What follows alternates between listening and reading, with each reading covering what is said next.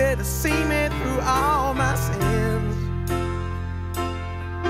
There were times in my life when I was going insane, trying to walk through